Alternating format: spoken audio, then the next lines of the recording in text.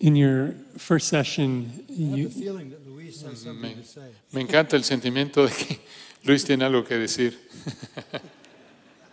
predica Luis.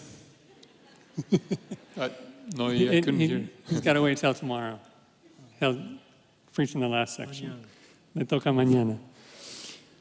In your first session, you, you spoke about God judging nations by uh, essentially giving them over to a depraved mind, giving nations these wicked leaders with, with evil ideas. Um, currently, throughout Latin America, socialism is something that is flourishing. Um, is the Bible and socialism um, are they compatible ideas? Um, habló en la primera sesión este, de la manera que Dios juzga a las naciones, dándoles líderes malignos con eh, mentes reprobadas. Y hoy en día en Latinoamérica, obviamente, el socialismo es predo- predominante. Eh, y la pregunta es si el socialismo y la Biblia son compatibles. No, Sí, no. but I, I need to say more. Pero necesito decir más que eso. No. Eh, First of all, people En primer lugar, la gente no entiende cuando oyen socialismo. Eh, Hubo una entrevista de una universidad, un alumno de universidad, y uh, el que entrevistó le preguntó, "Yes, like ¿puedes definir el socialismo? Sí, ¿cómo? liking to be with people." Realmente me gusta estar con la gente. No. El is socialismo es,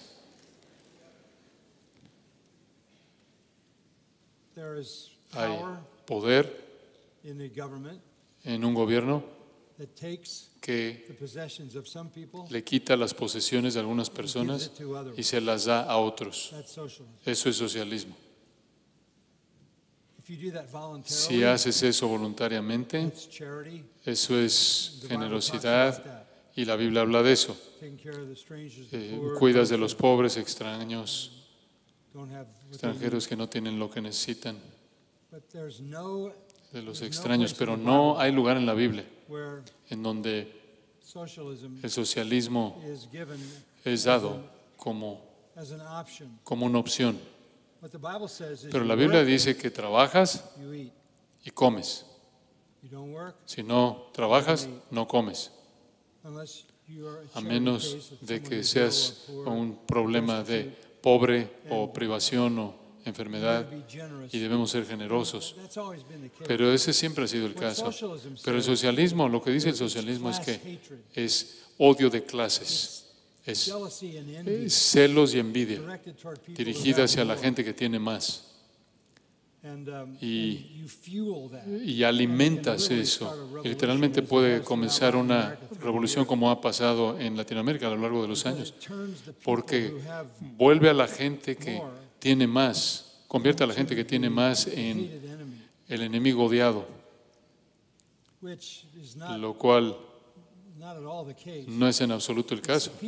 Es la gente que tiene más que provee los trabajos para la gente que tiene menos.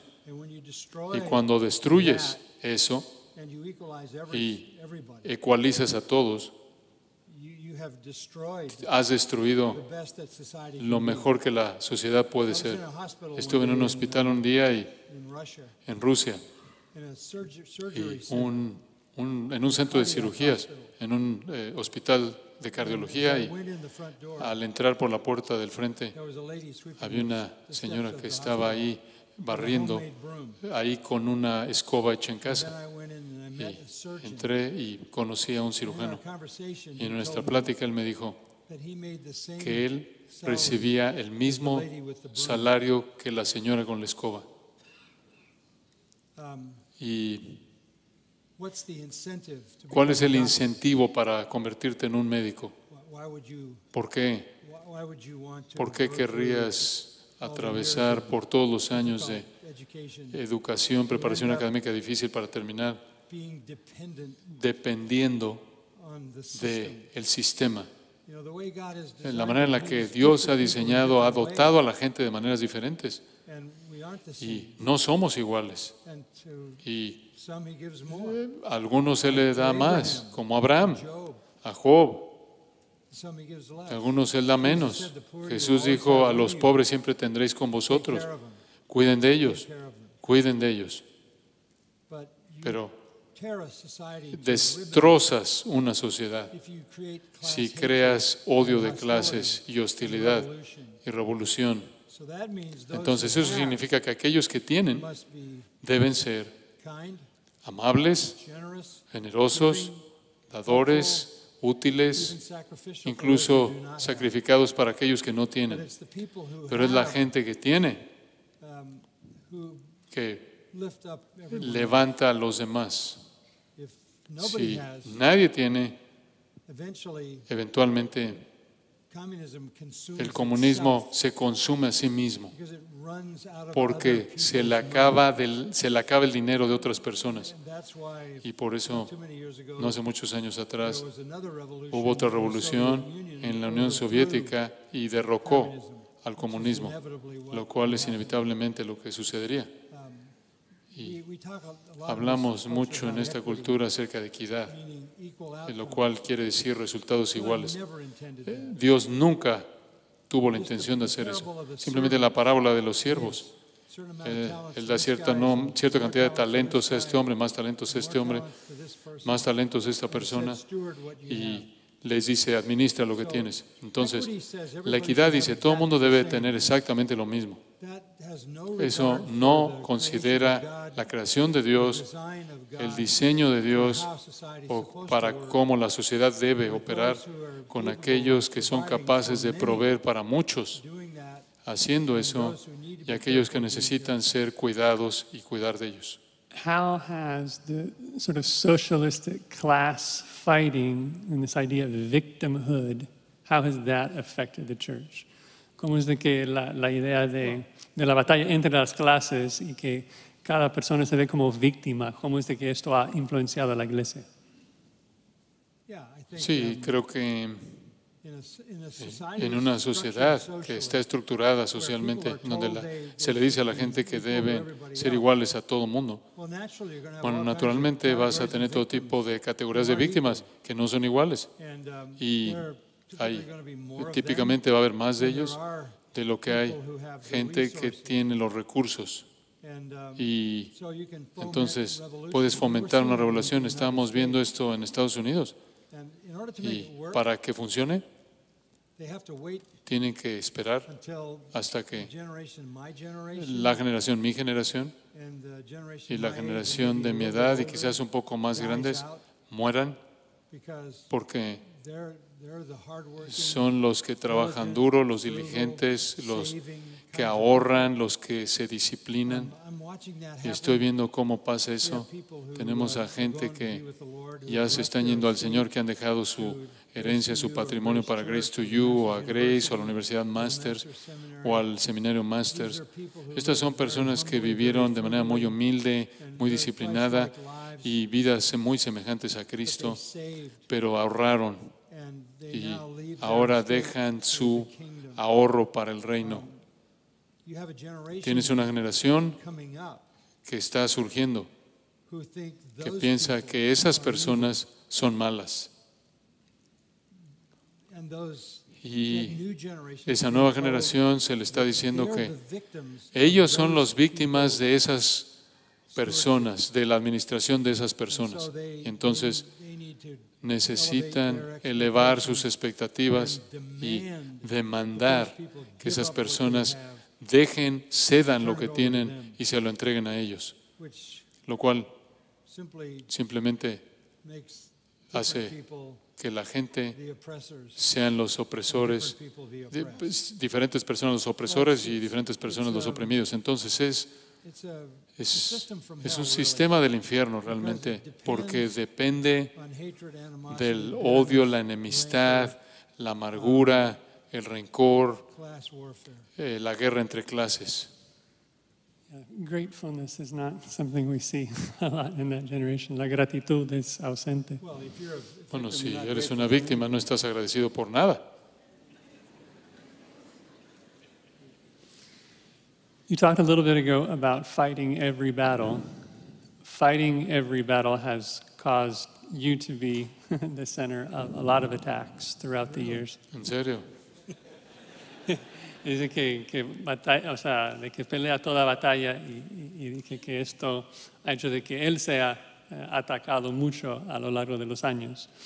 Um, so, the question I have is normally when you're attacked, you don't respond, you don't defend yourself. And over the last few attacks, at least recently, um, you know, we, we as elders have had sort of objective evidence that the attacks were false, and yet you choose to be silent. And I'm wondering if you can walk us through your reasoning and help us to respond when we are attacked. Um, de que obviamente la han criticado a lo largo de los años y últimamente en los últimos tres, cuatro casos, eh, como ancianos hemos tenido evidencia objetiva de que las acusaciones son falsas, pero aún así decide no defenderse. Y la pregunta es por qué y si nos puede ayudar a responder a ataques personales. Bueno, quiero decir en primer lugar que yo estoy comprometido con defenderlos a ustedes y a toda persona que me rodea uh, cuando son atacados. Um, yo quiero ser su protector y un escudo, un defensor uh, en ese sentido, pero es diferente conmigo. Um, yo creo que puede ser tan simple como que eh, te alabe, alábete el extraño y no tu propia boca. Yo tengo que dejar que mi reputación hable por sí misma. Pero también ni siquiera quiero honrar las acusaciones falsas. Entonces, he hallado a lo largo de los años que si respondes a eso, simplemente eh, arrojas, echas gasolina en el fuego porque eso es lo que ellos quieren y quieren que te vuelvas hostil hacia ellos y esto simplemente eleva el ataque. Entonces, um, si alguien uh, dice algo que es pecaminoso acerca de mí y es verdad, alguien dice algo y es verdad, entonces quiero reconocer eso y, y buscar perdón por eso con una persona, con un individuo, pero no puedo poner atención a las acusaciones falsas porque Poner atención a ellas las legitimiza. Y entonces estás metido en algo de lo que no te puede salir. Entonces, voy a estar predicando de esto el domingo en la mañana de 1 Corintios 4. Pablo dijo, tengo en muy poco lo que los hombres piensan de mí. Realmente, eso es algo insignificante. Voy a esperar hasta que el Señor emita el juicio final. Ni siquiera quiero juzgarme a mí mismo. No quiero defenderme a mí mismo porque podría ser tendencioso a mi propio favor. Puedo dejar que el Señor sea mi defensor. Simplemente no creo que ganas nada.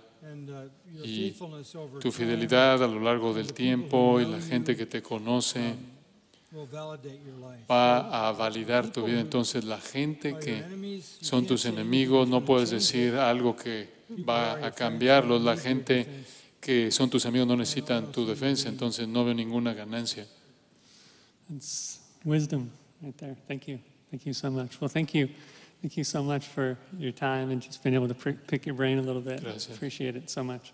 Gracias por eh, este tiempo y uh, esas palabras sabias que nosotros podemos aprender uh, de esto. Um, I'll maybe close in prayer and then let you go and I'll make some announcements here. Vamos a concluir en oración y luego un par de anuncios.